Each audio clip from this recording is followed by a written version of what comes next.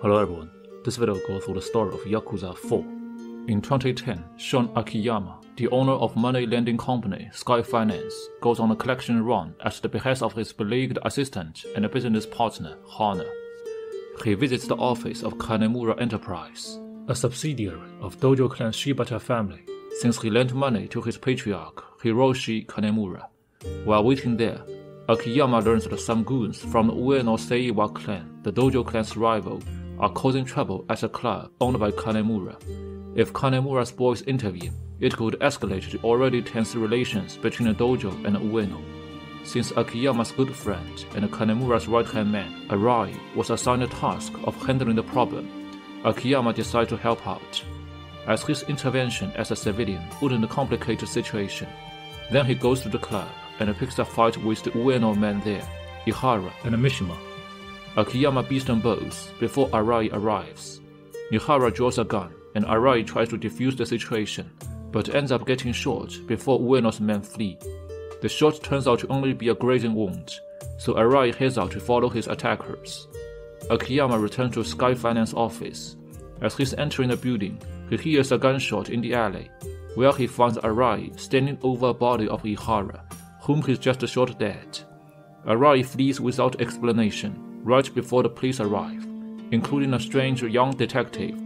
Since Akiyama was the only person on scene, he's taken into custody by the police officers, who mistake him for the murderer. Akiyama is released from police custody after Hana testifies that he was not behind the shooting. Regardless, Detective Sugiuchi wants Akiyama to stay away from Kanemura Enterprise and Ueno Seiwa clan because while he was in custody, Kanemura was murdered in his office. Akiyama returns to the Sky Finance office, where he is visited by a new client, a mysterious woman going by the name Lily. Lily is in search of a loan of 100 million yen. Despite being surprised by the high loan, Akiyama agrees to loan her the money at no interest if she can pass the test. He tells her to return the next day for the test. Afterwards, Akiyama meets with Kido, who has just been interviewed by Sugiuchi about Kanemura's death, since he's the one who found the body. As it seems, the police suspect the murderer is a woman, since Kanemura was found half naked and with a lipstick stain on his neck. Kido also mentions that Arai has gone into hiding since killing Ihara, and he's not been able to locate him. The deal are interrupted by goons from Shibata family, who also seek Arai and suspect they too know his whereabouts. Akiyama lets Kido flee, while he stays behind to fight Shibata men. He easily defeats them, but is then confronted by police officers arriving on the scene of the brawl, forcing him to flee. Akiyama receives a visit from Detective Sugiuchi in his office. The policeman informs him about the trouble brewing within the Tojo. At the Tojo headquarters, Sixth Chairman Daigo Dojima meets with the captain of Ueno Seiwa clan, Katsuragi, and offers a large pile of money to compensate for the murder of Ihara. Additionally, the patriarch of Shibata family and Arai's boss, Kazuo Shibata, presents Katsuragi with his severed pinky in atonement for his subordinate's crime. However, Katsuragi informs Daigo that this will be insufficient as an apology, and in order to compensate for Ihara's killing, the Ueno Seiwa will only accept Arai's head or the holdings of a Tojo clan member of equal rank to Ihara, Goro Majima. Since Majima's holdings include incredibly valuable Kamurocho Hills project, Daigo refuses, which makes the war between the two clans inevitable. Soon after, Lily arrives for her test. Akiyama takes her to the hostess club he owns, Alice, and informs her that in order to qualify for the loan, she must work at the club for three days and earn at least 3 million yen in sales. Though the challenge is daunting, Lily is determined to pass. Then Akiyama takes her for a night out on the town, which ends with they two sharing their former lives in Tokyo. The next day, Akiyama is sent to collect money from a debtor in the Champion District, where he spots Drama Queen, a bar which Lily claimed to work at, and from which she had a lighter when they met the first time. However, when Akiyama goes inside to speak to the owner, he finds him dead in his office, having been killed a couple of days prior. Moreover, the man was a member of the Shibata family. When he returns to Sky Finance, Akiyama finds Hana lying unconscious on the floor, an office in disarray. After he wakes her, Hana explained that thugs from the Hatsushiba clan broke into the office to steal their debtor ledger and also kidnapped Kido. After calling Hana an ambulance, Akiyama sets out to the street and managed to find Hatsushiba clan's office in a theater square underground. He raids their office and confronts Hatsushiba in his headquarters. After a fight against Hatsushiba's captain, Midori Kawa, Akiyama recovers his ledger and frees Kido. After being questioned, Hatsushiba reveals that his boss, Kazuo Shibata, ordered him to steal the ledger, since he's trying to track down Lily. The next night, after Lily has passed her test by earning Alice the 3 million on her last day, Akiyama calls her to meet him atop Millennium Tower to collect her loan. At the meeting, he offers Lily the chance to not pay back the money if she tells him why she's been killing officers of the Shibata family.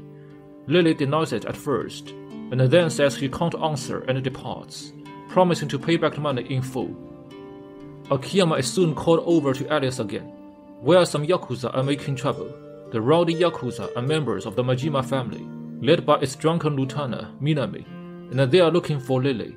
After Akiyama refuses to give up info on Lily, he has a fight with Minami, which he wins. The thugs are then joined by their patriarch himself, Goro Majima, who tells Minami to stand down. Majima tells Akiyama that he needs to find Lily to protect her, to make up for how he failed her 25 years prior, back when he knew her by her real name, Yasuko Saejima. In 1985, Taiga Saejima is a 21 year old enforcer for the Sasai family, living in Kamurocho with his younger sister, Yasuko.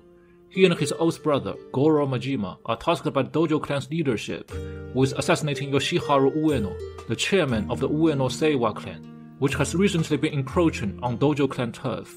On the day of the assassination, Majima fails to show up, so Saejima carries out hit by himself, bursting into the ramen shop and kills 18 Ueno's men. But unfortunately, he fails to kill Ueno himself and his officer, Katsuragi. For this crime, he is sentenced to death in 2010, Saejima has spent 25 years awaiting his execution when he is suddenly transferred to the Okinawa Penitentiary No. 2. Upon arrival, he gets into a fight with some inmates who used to be the part of Ueno Seiwa clan. As a result, he is taken to solitary confinement and severely beaten by the prison's guard captain Saito. However, he is saved by Go Hamasaki, who was sent to this prison after stabbing Kazuma Kiryu a year prior and who bribes the warden to spare Saejima's life. Hamasaki approaches Saejima and requests his help for a prison break. Saejima initially refuses, but changes his mind when Hamasaki informs him that the Sasai family has disbanded after his hit, and its patriarch, Hideki Sasai, mysteriously disappeared soon after. Saejima decides to join in on escape in order to find his old boss, and to discover why his old brother Majima failed to appear on the day of the hit. During the breakout, Hamasaki sneaks into the warden's office to search for incriminating evidence he needs to bargain for having their sentences commuted once they are on the outside, while Saejima fights several guards to cause a distraction and buy him time. Eventually, both men make it to the prison courtyard and use a grappling hook to climb over the wall, but they are confronted by Saito and several guards. Saejima allows Hamasaki to climb first, while he holds off the guards, greatly impressing his co-conspirator. After beating Saito, Saejima climbs over the wall with Hamasaki's help. However, while Saejima starts his descent to the outside, Saito reawakens and shoots Hamasaki in the chest. A wounded Hamasaki tells Saejima to seek out Kazuma Kiryu once he's made it to the Okinawa mainland, and then tackles Saito into the water below.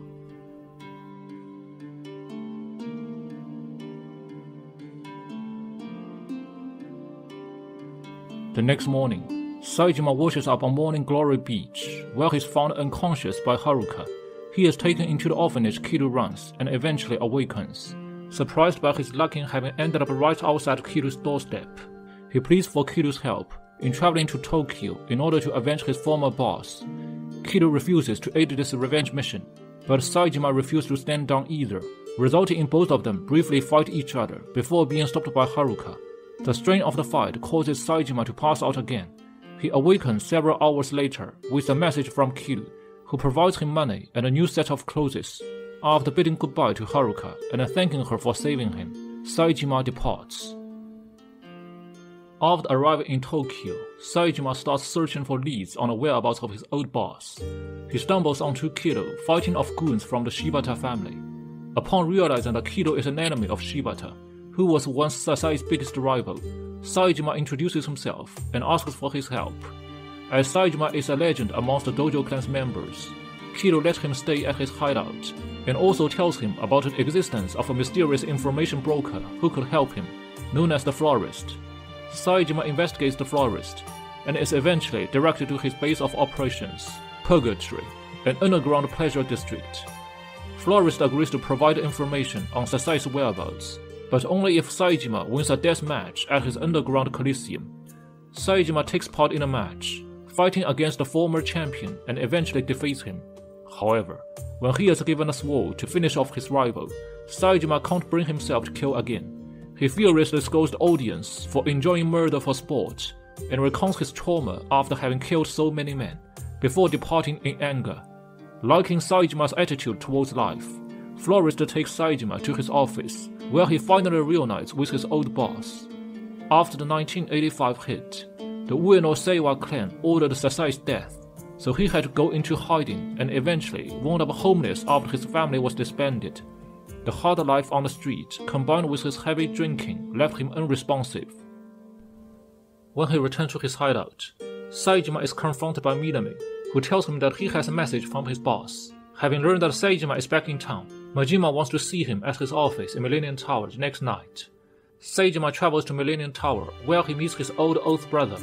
Majima takes Saejima to their old favorite hideout, the Yoshida Betting Center, where Saejima demands an explanation for why Majima failed to appear for the hit 25 years prior. Majima challenges Saejima to a fight, saying that he will tell him the truth if he beats him. The two old brothers engage in a prolonged battle, which culminates with Saejima victorious. After regaining his composure, Majima tells Saejima what happened all those years ago. On the day of the hit, he was called to a meeting with Kazuo Shibata, who claimed that the hit Majima and Saejima were about to carry out was against the interest of his boss, Sohei Dojima, so Majima shouldn't be involved. Furthermore, Shibata maliciously claimed that hit is a setup arranged by Sasai in collaboration with a traitor in Ueno so that he can expand his territory after the war between the two clans is triggered. When Majima insisted he couldn't let his old brother carry out the hit alone and tried to leave, Shibata had him restrained, and as punishment for defying orders, had one of his eyes gouged out. Young detective Masayoshi Tanimura of the Tokyo Police Community Safety Division is looking for a woman named Yasuko Saejima. One day, he receives a call that this woman had been spotted at a Kamurocho nail salon. Tanimura quickly travels there and finds Yasuko, but the two are attacked by Shibata family members, and while Tanimura tries to fend them off, they manage to escape with a kidnapped Yasuko. Tanimura follows the Shibata goons to their family space in the Tokyo docks and engaged in a drawn-out battle with dozens of Shibata's men before he finally makes it to the Shibata's office. There, Patriarch Shibata is in a meeting with none other than Arai when his men deliver a tied-up Yasuko. As it turns out, the murder of Ihara had been arranged by Shibata and Katsuragi of the Ueno Seiwa clan as part of a conspiracy to try to force the Tojo clan's leadership into giving the Ueno Seiwa a stake in the Kamurocho Hills project which Arai had been complicit in. When Shibata tries to rape Yasuko, Arai suddenly shoots him, claiming that Katsuragi's plan no longer needs him, and Katsuragi wants him dead since he has spent years demanding favors from Katsuragi to keep quiet regarding the truth about Ueno hit. Tanimura burst in and tried to arrest Arai, but the Yakuza managed to get away. The detective questions Shibata about the truth of the Ueno hit, but Shibata dies before being able to answer. Tanimura takes Yasuko to his hideout, where he tells her why he's been looking for her. In 1985, Tanimura's father had been a police detective in charge of investigating Ueno hit when he was suddenly murdered. And the last entry in his logbook said that he was going to meet Yasuko. He questioned about her meeting with his father, but Yasuko revealed that Tanimura Sr. never showed for the meeting and instead sent her message telling her to leave Tokyo because the conspiracy surrounding the Ueno hit was bigger just than a Yakuza squabble. Yasuko also revealed that Captain Katsuragi of the Ueno Seiwa clan got in contact with her and told her that he could prove her brother's innocence, but in exchange, she had to either pay him a hundred million yen or kill a man for him. Since she didn't have money, she opted to carry out the murder, only to have Katsuragi demand more and more killings in exchange for the proof. Eventually, she decided to get money instead, so she took out a loan from Sky Finance. After giving Tanimura the money, Yasuko departs for Okinawa for seeing his brother again before he is executed. Tanimura arranges a meeting with Katsuragi the next day. Katsuragi informs Tanimura that he and Shibata had arranged for Saejima to attack Ueno and his officers, so that all of Katsuragi's rivals would be killed, but himself and Ueno would survive, thus giving his career a huge boost. However, he insists that he was not responsible for the murder of Tanimura's father. He also insists that Saejima was not the one who killed those 18 men, but rather he was. Then Tanimura is surrounded by Ueno Seiwa thugs, as Katsuragi wants to kill him.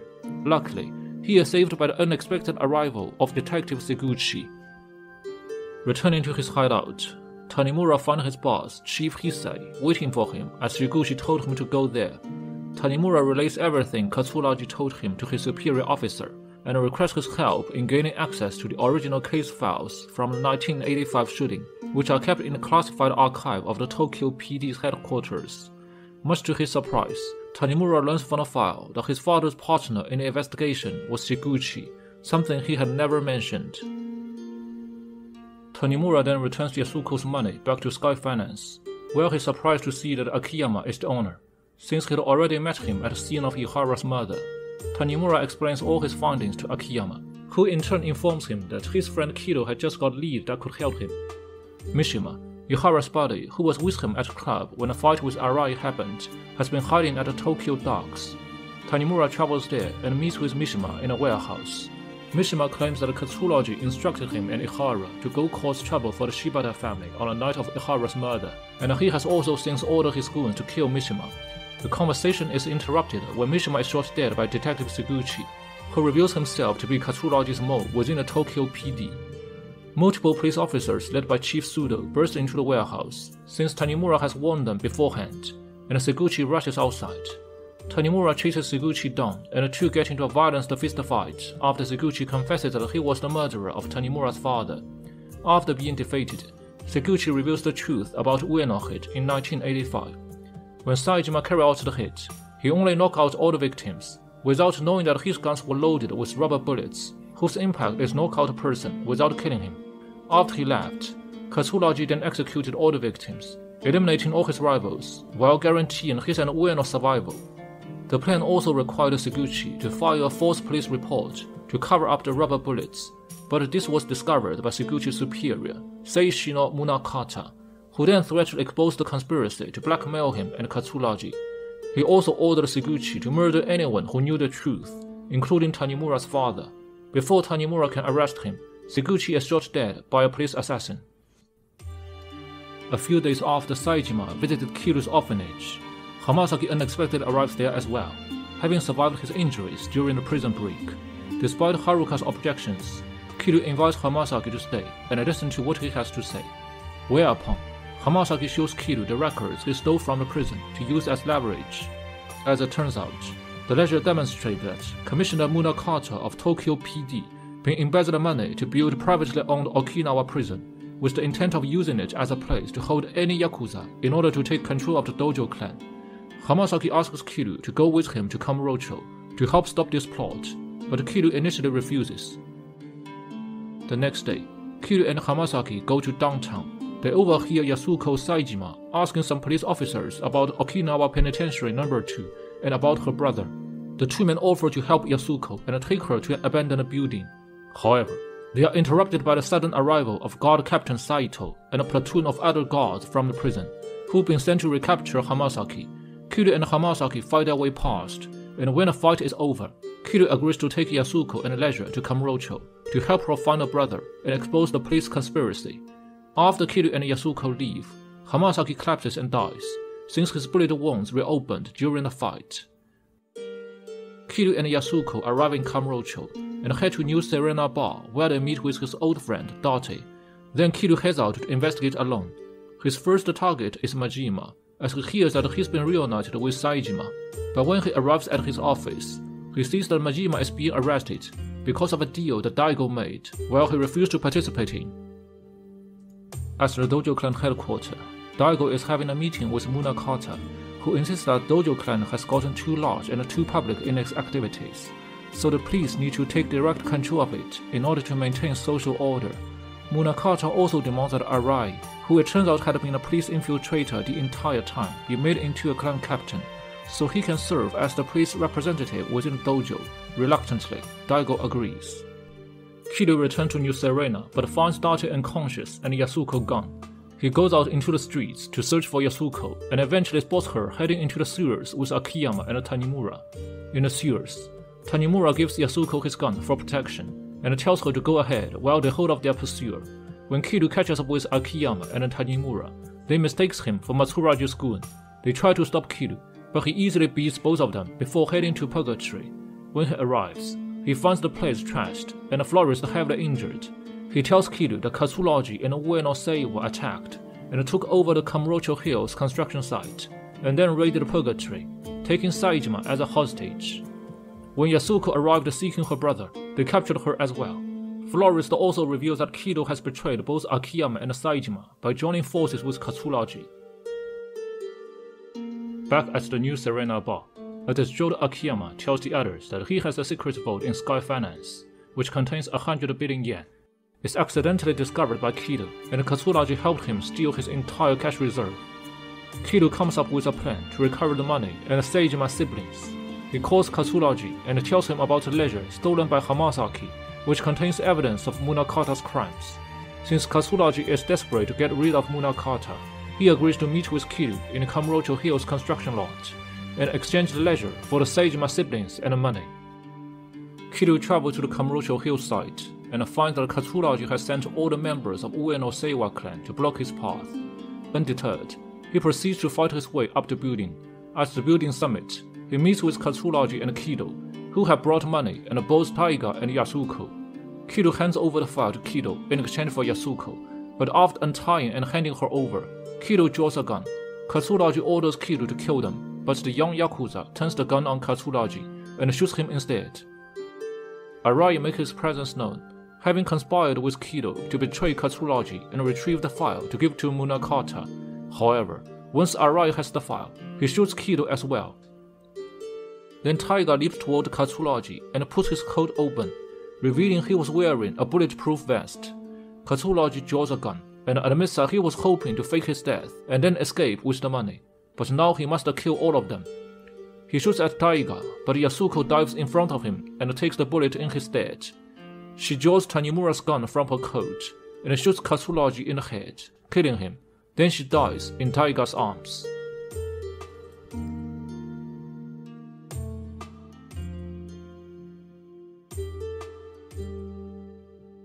At the Tokyo Police headquarters, Munakata congratulates Arai for recovering the incriminating files, but berates him for letting Kiryu keep the money.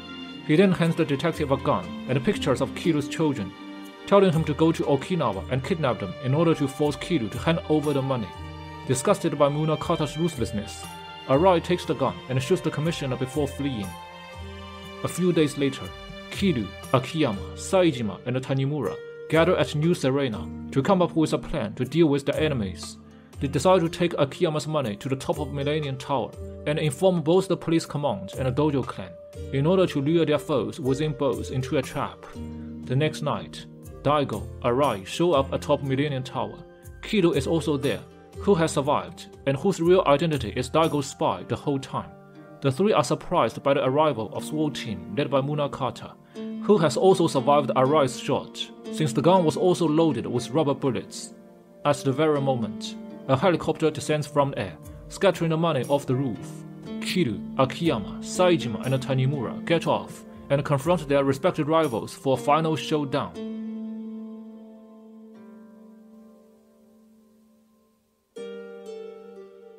Daigo, Arai, and Kido are all defeated, as well as Munakata and his SWAT team. The commissioner commits suicide after learning that he will not escape his crime sentences.